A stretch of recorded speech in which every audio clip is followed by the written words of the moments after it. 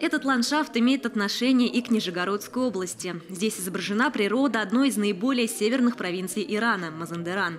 Именно эта часть выходит к Каспийскому морю, где на протяжении многих веков осуществлялась торговля между иранскими предпринимателями и их российскими партнерами. В частности, это нижегородские купцы, э, которые регулярно на Нижегородской ярмарке осуществляли обмен товарами со своими коллегами из Ирана.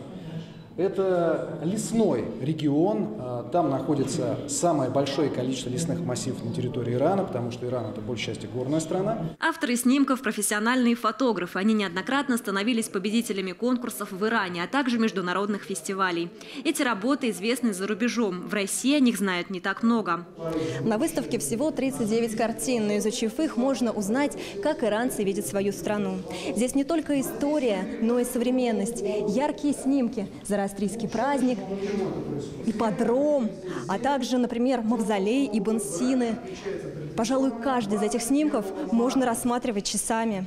Выставка «Прекрасный Иран» уже успела побывать в разных городах России – в Москве, Санкт-Петербурге и Уфе. В Нижнем Новгороде работы выставляются впервые. Фотографии посвящены архитектуре, историческим достопримечательностям и природе Ирана. Для нижегородцев проводят обзорную экскурсию, а также мастер-класс по персидскому языку. Выставка шикарная, очень понравилась экскурсия.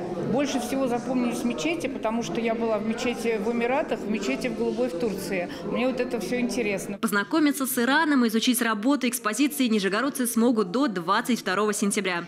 Дарья Кульбакина, Виталий Кудрявцев. Время новостей.